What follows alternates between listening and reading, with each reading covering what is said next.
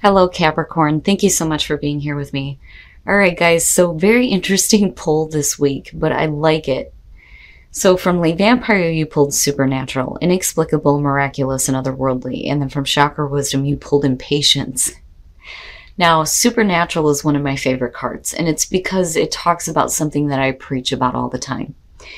Working with this card, it is time now to begin to understand that the senses we all have are not special gifts given only to the chosen. We all have them. You may have been despairing at your own lack of gifts and wondering what your own abilities may be.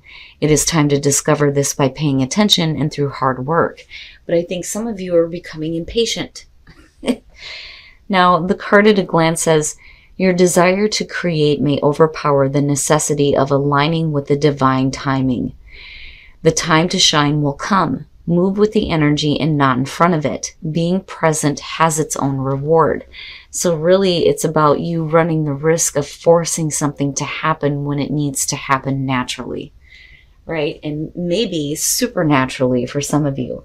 It's rare when that happens, but when it does, like I feel wrong by picking it back up. All right. Oh my god. I swear to god. I can't make this shit up. and you know what I hate?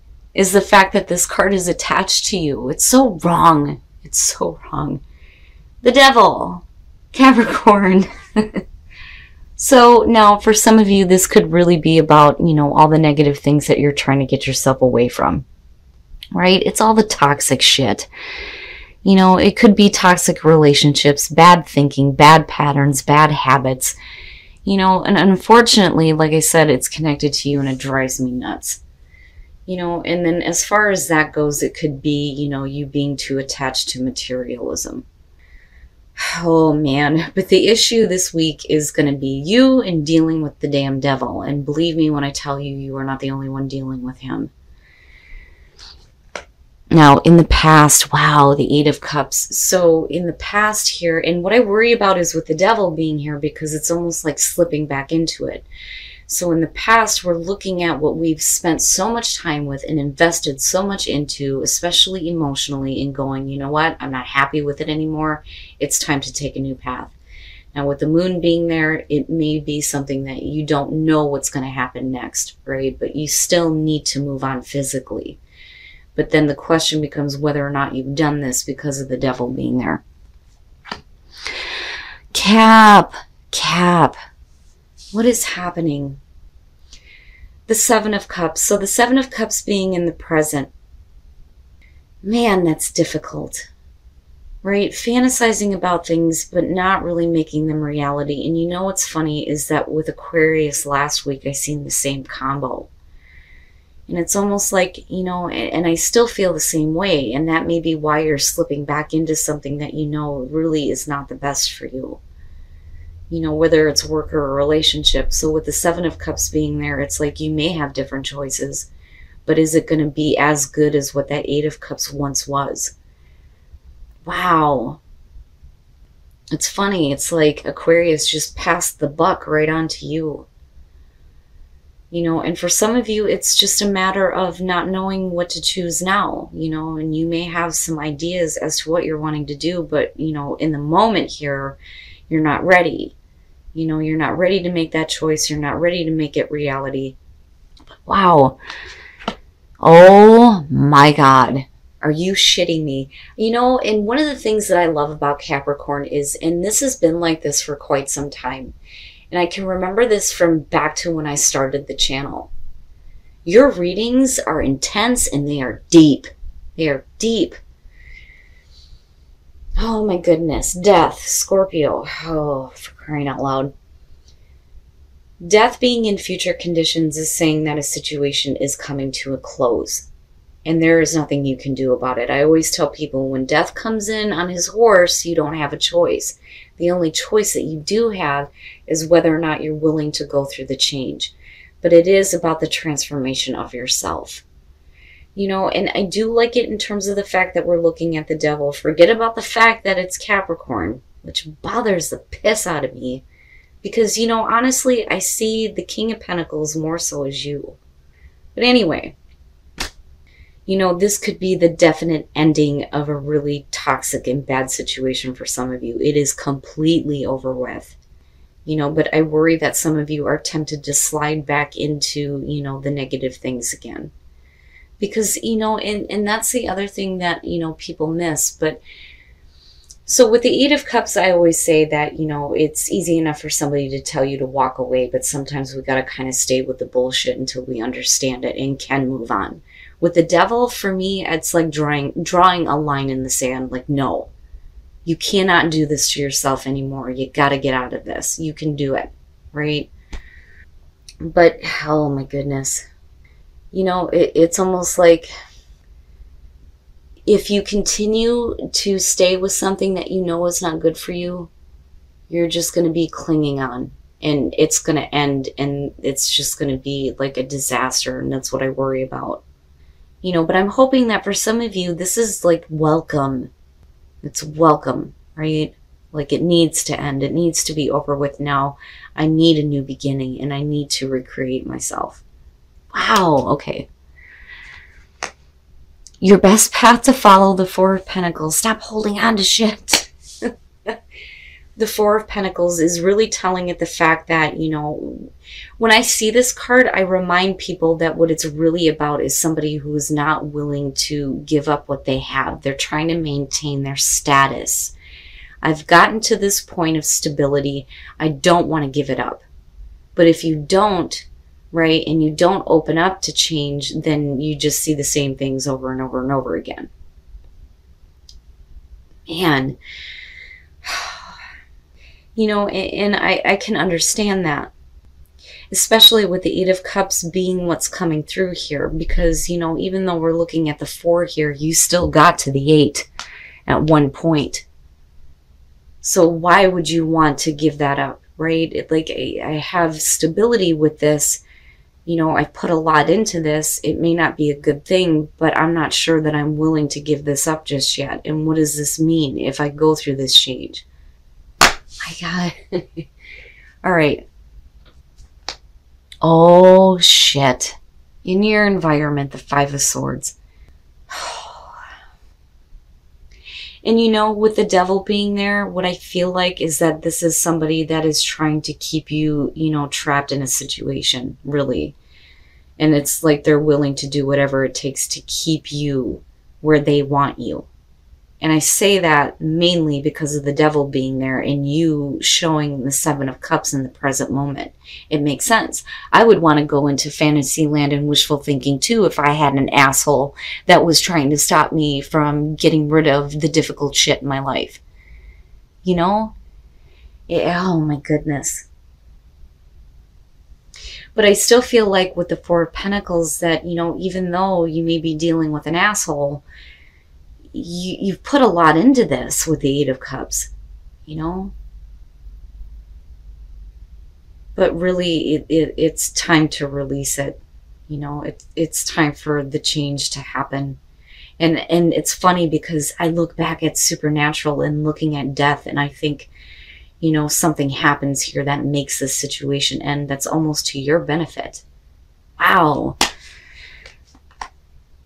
your hopes and your fears, the Six of Swords. And, you know, again, it's very telling. Wanting to get away from this, wanting to say goodbye to the past, wanting to get away from the Five of Swords. You know, it may be emotionally difficult, but the whole point here is to move on to a calmer situation for yourself. And this is what you're hoping to be able to do and not have to deal with this kind of nonsense anymore. Wow. I love my Capricorns. I love you guys to death because, you know, no matter what is happening, you always do the right thing. You will always do the right thing coming out. And I've always said that about you guys, but more so than that, your readings are intense for me. And I don't know if maybe it's because Capricorn is my midheaven and I feel like my best work is always done with the Capricorn readings. But man, like it's so deep. It's so deep and like I, I'm sucked in. I can feel it. I understand what's going on. But it just, it still blows my mind. All right, Cap. Building the suspense here. Here we go. Here's the outcome here. Oh, you know, and I feel good about it. I feel really good about it, but I'm going to push my luck and we're going to clarify it. The Three of Pentacles, so you start working. You start working toward the changes that need to be made. I don't think that you're putting any more effort into this because I would have expected to see, you know, something negative. But that's okay. You know, we're moving on from this. We're getting rid of this crap. We're putting our effort in. So with the Three of Pentacles here, it, it is talking about the new start. So, you know, if you realize your hope here with the Six of Swords and you get away from this stuff, it's no longer a matter of you fantasizing about anything because the situation is over with. It is over with. Now it's all about you and working toward what is going to make you happy, what makes you feel good, and what you are confident in. And for some of you, besides a relationship here, it could be a job. Now with the magician, it's about manifesting that cool ass shit. You have what you need. And it is about you being confident in your abilities here, right? Now with the two of wands coming out here, and it's funny because I make the relation between these two. You have, you know, the initial thought, the initial spark, but really it's about, you know, laying down those plans to apply it and acting toward it, which is the two of wands. And then coming out of this though, and this is where I worry is the five of wands.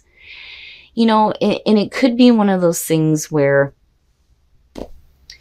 you know, it's you butting heads with yourself about, you know, what you should really be doing here. but the thing is, is no matter what kind of struggles you face in future conditions after this situation is over with, this one is saying that you're going to come out on top, right? And that's the one thing that I love about this card with this deck because you see the one rising above the rest. And that is you you know, especially in terms of you getting a better job, right? But I think this is much deeper than that. Much deeper.